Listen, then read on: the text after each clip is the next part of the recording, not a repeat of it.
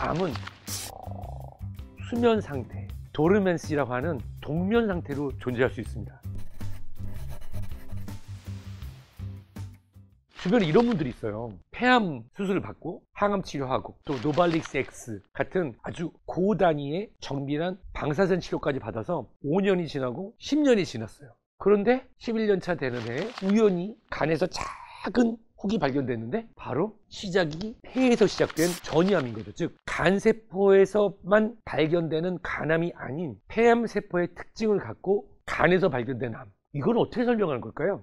암은 치료가 완료되고 원래의 종양과 전이암도 다 정리가 됐다고 해도 우리도 모르는 사이에 일부 조직으로 옮겨가서 수면 상태, dormancy라고 하는 동면 상태로 존재할 수 있습니다. 수면 상태의 암은 과연 무엇일까요? 우리가 CT, MRI, PET, CT인 PET CT 등으로 우리 조직 내에 숨겨져 있는 예전보다도 더 작은 암들을 찾아낼 수 있습니다. 하지만 분자 단위의 암세포는 눈에 보이지도 않고 우리가 아주 미세한 영상 또는 미세한 조직 검사로도 찾기 어려운 것이 사실이거든요. 하지만 우리는 이미 동물 실험 등을 통해서 암이 발생하는 그 순간부터 이 암이 발생하는 원래 장기, 예를 들어서 유방암이면 유방암에만 암세포가 있는 것이 아닌 간이나 또는 뼈에도 암세포가 전이 됐다고 충분히 임상적으로 가정할 수 있습니다. 이때 이것을 우리가 휴면암 또는 발견되지 않는 전이암이라고 하는데요. 이런 부분들을 기존에는 찾을 수가 없었기 때문에 전신 항암 치료를 하거나 일부 면역 추적 항암을 했지만 명확하게 치료하는 방법이나 확인하는 방법이 없었습니다. 현재 암 치료는 이 초기 치료한 다음에 전이 형성을 통해서 암이 깨어나는지를 확인하고 모니터링을 하고 있거든요. 근데 사실 우리가 의문되는 게 뭐냐면 아니 정확하게 이 수면 상태에서 어떤 변화가 일어나는지가 바로 우리의 궁금한 점이었어요. 자, 스위스 바젤 대학교 병원의 모하메드 벤티레스 알리 생의학과 교수는 이렇게 설명했습니다. 이 수면 기간은 즉 암세포가 이렇게 자고 있는 수면 기간은 암세포의 수와 헤테로제네시스라고 하는 이질성을 통해서 계속 관리할 수 있을지 없을지 확인할 수 있다고 그랬어요. 즉 암의 재발을 그냥 가만히 앉아서 막는 것이 아니라 종양의 휴면 기저, 지금 자고 있는 암을 찾아서 세포와 분자의 기전 사이를 이해한다면 이것을 우리가 예방할 수 있다는 것이죠.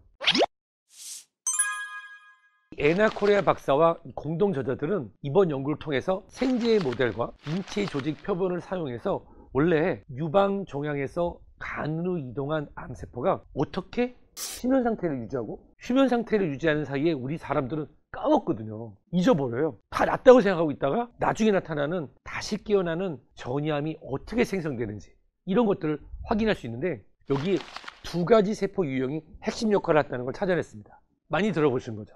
바로 자연살해 세포, natural killer cell인데요. 이는 전통적으로 비정상적으로 과증식하거나 또는 감염된 세포를 죽이고 증식의 속도를 늦춰주는 면역세포의 유형입니다. 이걸 우리가 많이 알게 됐죠. 자연살해 세포는 인터페론 감마라고 하는 메신저 물질을 분비하거든요. 그렇게 되면 암세포를 지속적으로 동면 상태로 유지할 수 있게 합니다.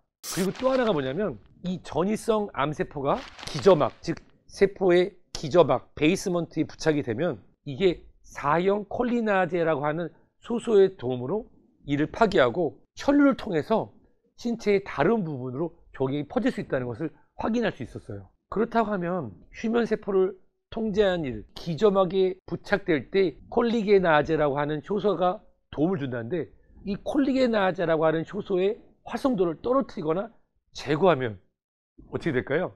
다른 부분으로 2차 종양이 퍼지는 것을 막을 수 있는 것이죠. 그리고 또 하나가 뭐냐면 이 간의 성상세포라고 하는 hepatic stellate cell은 자연살해 세포 NK 세포에 영향을 미치게 되는데요. 간의 성상세포가 활성화가 되면 면역세포를 억제하고 암세포가 동면에서 깨어난다는 거예요. 자, NK세포는 인터페론 감마라는 메신저 물질을 지속적으로 분비해서 우리가 아직 확인되지 않을 정도로 아주 작은 암세포들이 다른 곳에 있다 하더라도 동면 상태를 유지하게 되는데 간의 성상세포가 활성화가 되게 되면 NK세포에 영향을 미치고 NK세포의 활성도가 떨어지면서 암세포가 동면에서 깬다는 거예요. 그렇다고 하면 간의 성상세포가 활성화되는 것을 막는 것이 NK 세포가 활성화가 되면서 인터페론 감마라는 물질이 지속적으로 분비가 돼서 우리가 확인되지 않는 아주 작은 암세포들이 지속적으로 동명 상태를 유지할 수 있도록 도와준다는 것이죠. 그렇다고 하면 어떻게 하면 좋을까요? 자, 내용을 정리해 보면